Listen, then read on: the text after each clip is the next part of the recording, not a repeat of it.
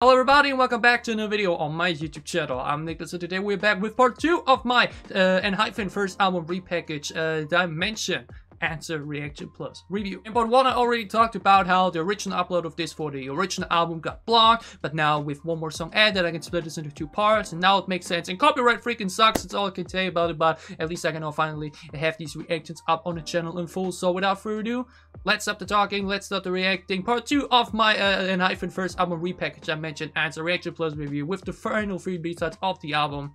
Enjoy. Let's get into this and hyphen blockbuster featuring Yeonjun off TXT. Let's watch it.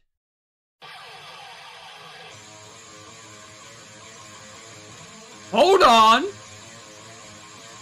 hopping Big drills, just showing it all 다 Adrenaline this boring vibe 답 없어 이 세긴 현실과 상당 unify 천만 focus on me don't miss in my movie time. 너 해인 할 거란 준비해 차지해 자리 메인 keep running and 지가 마치 앞끝이 내일 feel like I'm in paradise cameras on screen 속 세계에서만큼은 yeah I'm the boss way out way out 없어 그냥 뚫고 가 Don't out don't out 여기서 The audio quality from the upload I don't think is so high, but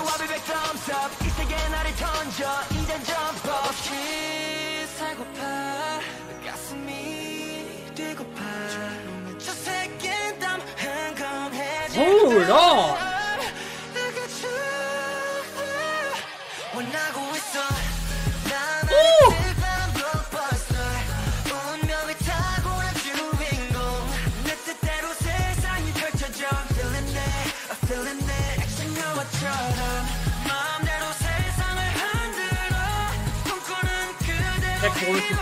Is mad.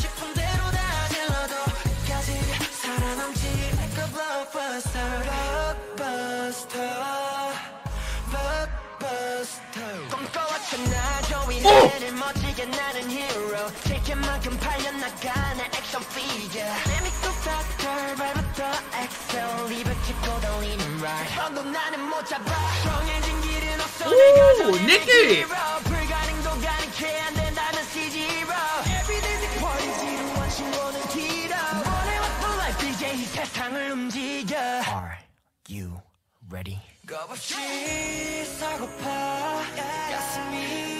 This is what I needed. I talked about it in the video I was not able to upload. I needed a song. Wait a second. Wait.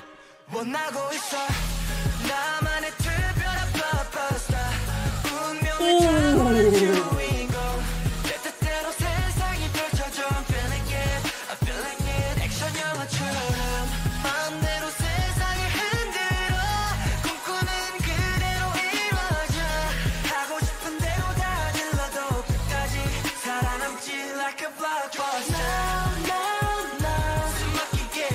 Bridge.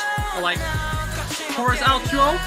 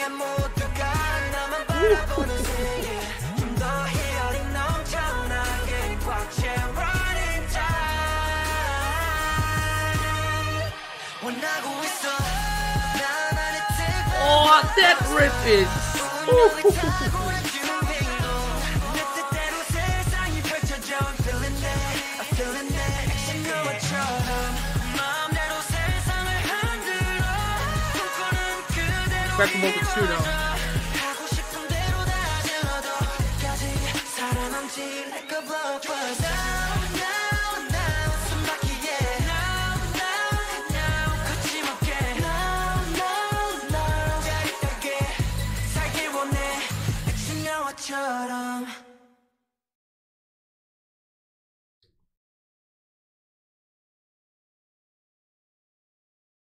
Damn!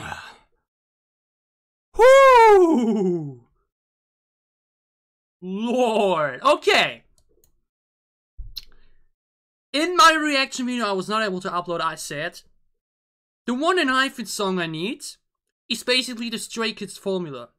Heavy, flow variated verses into melodic pre-choruses into a lengthy full chorus. Voila! Blockbuster, ladies and gentlemen. Oh my lord, that one needed four minutes too? What? Oh my god, this song is incredible. This song is absolutely like didn't we had it in um oh, how was the name of it? The recent, the first Japanese song. We reacted to that as well. It was more like of a B side, you know. It wasn't title track or a music video, so it was like they did a Japanese version of Drunk-Dazed, I think, and then just added that as B side there as original song. And then it also went into a heavy guitar riff, and I was like, oh my god, oh my god, are we getting heavy and hype in that sense? But no, then went into more, you know, like a fool, basically. Like they fooled me there in that point. But here this time. Ooh, the way this song kicked in, the way this riff alone kicks in here. Oh, I literally, ah, damn it! It took it took only two songs to see my next contender for favorite, and I have a B side. God damn it! That's what I mean. Or meant just a little bit is the total opposite of this song, but these two definitely absolutely blew me away upon the first listening. Oh lord, ENHYPEN's blockbuster. God damn, the way the verses are this time. Yeonjun really, really fantastic feature. He really adds a lot to the song, you know? That was really, really good. But the other members also on the verses. That was what I meant. Finally, some flow variation. And Ni-ki, like, bam, he, he kicked in there too. That's what I needed. That's ENHYPEN song I needed. Because the, the, the pre-chorus and the chorus again, also more heavy. Because they still have that riff. And the banging kicks and drums. And the bass that busts right into your eardrums. But still has that ENHYPEN flavor to it, basically. The very melodic and soothing sound. Very full, very lengthy. Ooh. Hell yeah. That's the Hyphen song I needed, basically.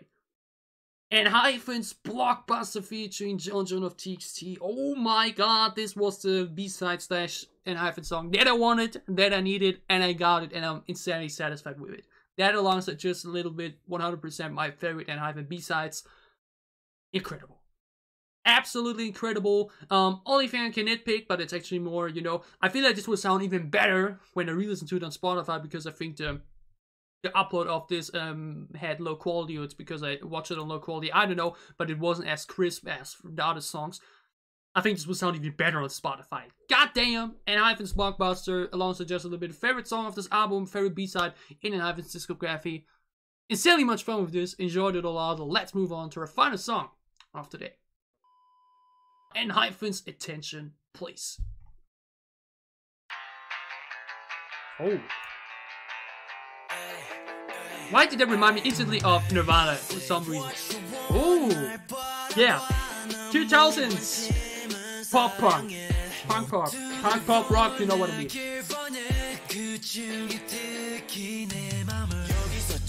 I know Nirvana isn't that before I comment, you know what I mean? Ooh. Yeah, this is big 2000s flavor, for like late 90s flavor.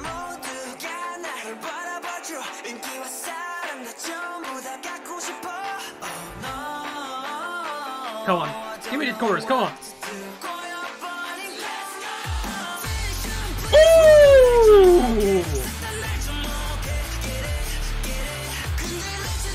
We actually got two heavy ENHYPEN songs in the same album in a row. Ooh.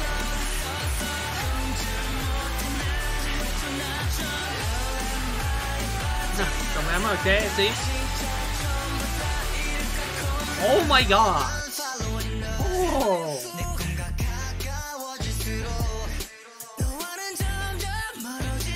The verses are way softer than the chorus, which makes sense, but they still sound great.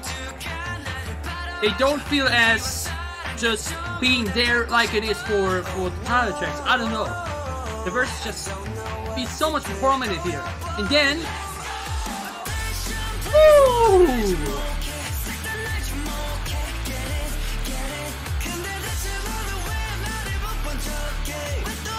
Oh my god! Oh, but this one have a bridge, right? Oh no.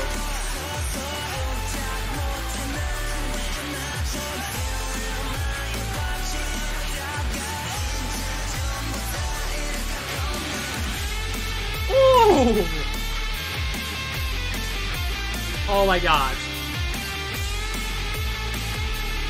The reason why Dreamcatcher is my favorite group is because the rock influence, and here Oh...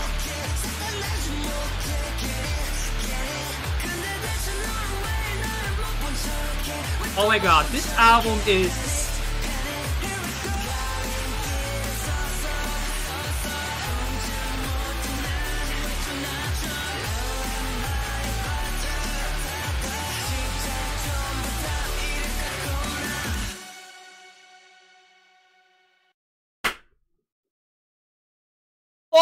Oh! Guys, y'all gotta calm down. Actually, don't, but. Oh, Lord. I said 20 minutes ago during my just a little bit reaction, okay, this is my favorite B-side. And then two songs in a row. The last two songs of the album immediately say, I heard you talking, bro. Here we are. What's up now? Oh my goodness. Wow, this is really, this is really a first because I'd straight up say upon the first listening of all these three songs, damn, I I enjoy all these B-sides more than the title track. Like um the three I mentioned now, just a little bit, Blockbuster and Attention Please. I think I enjoy all of these in, in, in, uh, instantly more than the title track, and may I dare to say they're like my favorite ENHYPEN songs actually? Like let's I wouldn't no no let's not compare this. Let's not now compare the three title tracks with these three B-sides, but these three B-sides, and now attention please as well, are exactly my thing. Oh, that chorus drop for the first time was boom. God damn. This is literally when I hopefully be able to get that reaction out, or when I have to split it or whatnot, will I want to put it in your lip? I'm not sure actually, it would take too long to find that exact quote from my reaction, but I said I want a heavy ENHYPEN song, a really heavy one. Not just heavy in the EDM, but a heavy in the rock. Or in the, you know, and this is exactly what I wanted. Exactly what I needed from them. Because they had that great group dynamic, that great sound, and this is magic. This is incredible. I really consider just a little bit Blockbuster Attention Please my three favorite ENHYPEN songs. Without categorizing these. Because like mentioned, Please and Blockbuster, funnily enough, these aren't like even they all like obviously both heavy, but they're still so far away from each other. It's not like they just copy pasted these songs, you know. But what an ending to this album! Wow, like the first half is very poppy, very poppy EDM heavy, and then the final two songs are straight up punk rock. Hell yeah! Hell yeah! ENHYPEN's attention, please. Alongside just a little bit and Blockbuster, my favorite hyphen songs for sure. And that is just I, I can't remember the last time I really said straight away, damn, I enjoy this piece more than the entire track. Not because I don't enjoy the title track. I mean, Tamed-Dashed is awesome too.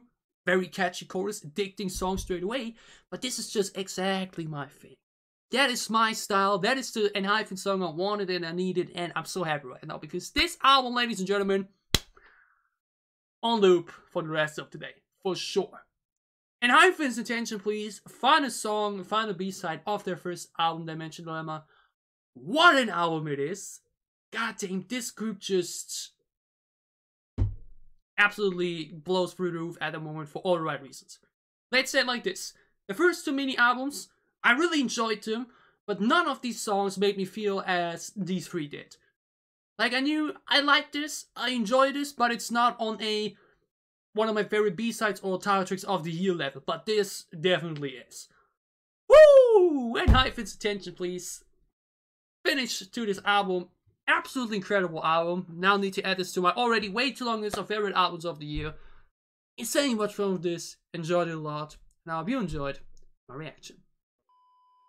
And now a lot of time between the uh, recordings of the first five B-sides and the only new B-side um, added to the album repackaged Dimension Answer. We now are going to be checking out Polaroid Love, the final B-side of their first album repackaged. And yeah, like mentioned, it's the only new B-side. I will never really understand the point of these um repackaged albums. Like the only way I think repackage would make sense. Like actually, the term repackage would be like, especially given the group uh, as ENHYPEN who's really young still, and where um many of them still are developing. Basically, like their voices will change in a few years. So a repackage would make sense in sense of like you know re uh, recording an album with their now matured voices and then add like new songs to that. That's how a repackage album would make sense to me. Instead, we just release it like a few months after the previous release and only had one new song, majority only to do it for for additional sales. You know, it helps them um money wise, but like music wise, we said they never get a lot out of these uh repackaged albums. But either way, we still got one more B side, so why should we complain? Instead, let's just lean back and enjoy this together. Even though apparently this song was already released at some point in some capacity, or like was part of a show or so, but never officially released on audio. So I- I've never heard it before, but that's only what I read um about like oh Paul Off suddenly getting an official release and whatnot. So yeah, let's check it out And Hyphens, sixth B side on their first album repackaged Dimension Answer, Polaroid Love. Let's check it out. It's like a Polaroid love Mhm. 사랑촌스러운 그 감정 근데 내 가슴이 뛰어 when I 이래 나 Alright. 왜 사랑에 목매는 건지 Oh, 어차피 뻔한 감정이 oh, I love this bright, playful sound.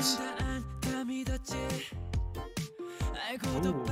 Soft strings too. The BPM is very fun. Oh, okay. Ooh.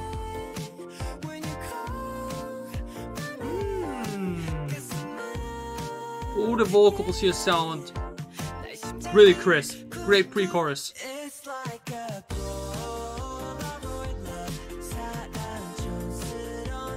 Ooh, I love the vibe of this a lot. This is something so chill and calming to it, without being too slow, you know?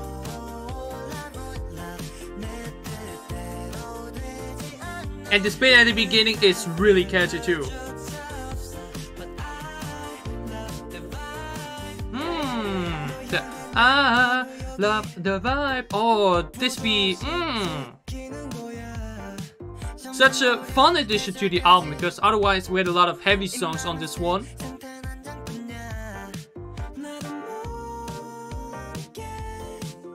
Oh, but this pre-chorus, the transition is so smooth, you don't even notice it. We just continue the verse basically.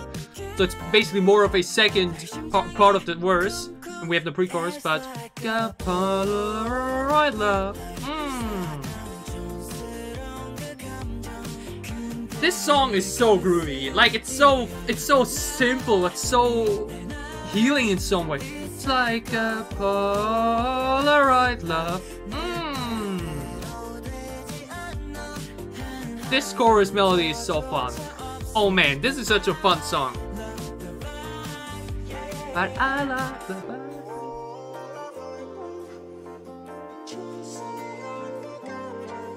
Okay, not too big fan of this drowned out voice edit here. That's like, you know, okay-ish. Okay, then just add the pre-chorus again, okay? Hmm.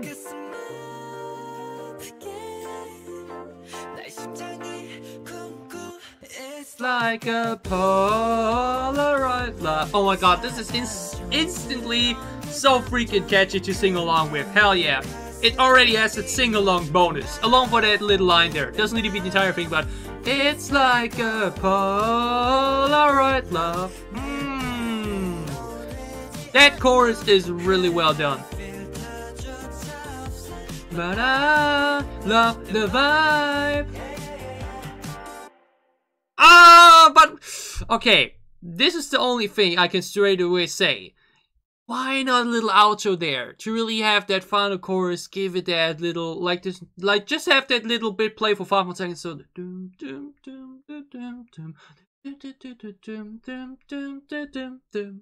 and end it there why you gotta end it immediately upon the final word and why you gotta start it immediately upon the first word you know what i mean i always mention that a little five second instrumental intro and a little five second outro just make the song feel so much more flourish because otherwise either way get thrown in to to like I don't know, you know, like you finish I don't know a song, it's like a totally different mood and atmosphere, and you then immediately get jumped into this. You don't have to time basically to prepare yourself for for the song, and then um you're so into the vibe and so into all of it, and then the song just ends abruptly because it doesn't have this uh cool down effect, you know, like this fade out little moment. Then as example, we, we we throw you into attention, please. You know that might be might be a bit too abruptly. That's the only thing I can criticize uh, straight away. Besides, maybe only this bit here in the bridge was like, yeah, you know, like this bit here before we get to the uh, call my name. Here i'm like why we gotta put that voice filter over there. I think they have great voices so i'm not really sure why we need to you know. That's generally the only thing about Enhypen still for me. I like their sound. I think they have great songs and they have they're a lot of fun to listen to but it's just one more of their raw voices not that edited you know. Like mentioned they have this group editing thing going on where they all go more into a similar tone direction due to that because just uh, the producers want this group sound uh, to the entire thing. Uh, but he like we take out the entirety of the voice and make it like a you know like a uh, um completely um un you know a completely unusual voice. Not too big fan of that like it's it just doesn't really give me too much you know because it just doesn't sound as good as an actual voice would be. But that's the only thing i can really criticize about this because otherwise it's insanely fun versus, great playful uh, flow there and great melody in general. The top line is great. The pre-chorus is great with the long jack tone there that, that just sounds really good. But this chorus, it's like a Polaroid love. Na na na na na na na na na na. Sounds fantastic. Another insanely catchy chorus. If there's one thing that Enhypen is really good at, or at least like ENHYPEN's producers, is to give them great choruses and data and deliver them in a great way. We've had so many great choruses, like especially Drunk-Dazed or this one now as example. Such little catchy melody bits within these choruses that just make them feel so full, just make them feel so fun and just so good to listen and sing along to. That's what I always talk about. Some songs just have that sing along bonus where um, maybe another song maybe giving you more sound wise, but that other song just gives you more to sing along with. That can evaluate the song even more than maybe this other song, you know? And that's definitely the case here. This it's like a Polaroid love. You can sing that along throughout the entire song six times overall, and it won't get boring at all. You can sing along with it instantly, like after the second or third listen or so, like in the in the after the second or third chorus here for the song. Really damn good. Like mentioned, only thing I can criticize is no no intro, no outro. It's just I don't know, it just always feels a bit you know, it's it's a little fine detail that can make the song just a bit more um satisfying uh, with that. And like mentioned, this um voice bit there for the for the first part of the bridge instead of like letting them just sing um themselves. But otherwise, Polaroid Love, extremely much fun. That chorus is such a fun time, and yeah. Alright, so this was part 2 of my Dimension Answer Reaction Plus review. If you enjoyed my reaction and review, a like down below to show me that you did. What are your thoughts on not just the three songs from this part, but the entire album in general, now with the addition of the new song plus B-side. Tell me all the thoughts about it down below in the comments as well. And as always, if you enjoy what I'm doing, if you want to support me, you can gladly leave a sub as well, or support my Patreon, which help me a lot. When we see again each other with Enhypen, I still have my Given-Taken and reaction uh, finish and everything like oh also months ago, but that was is still fully blocked and I don't think I will be able to put that out unless I would, um, yeah, like opposite stuff and you can see the video fully and whatnot. Like, I don't know, I have the same problem with GFriends MAGO from the time from 2, so everything from late 2020 appears to be not working on this channel, which is a freaking shame. Maybe one day it will be fixed, but I don't think so. I don't know, HYBE just dislikes my channel for some reason, but uh, whatever. Whatever content you may be interested in, for whatever content you may want it in for, obviously again soon on this channel. Stay safe, have been happy, have a great time, have a great week, and uh, see you again soon with more K-pop reactions. Thanks for watching.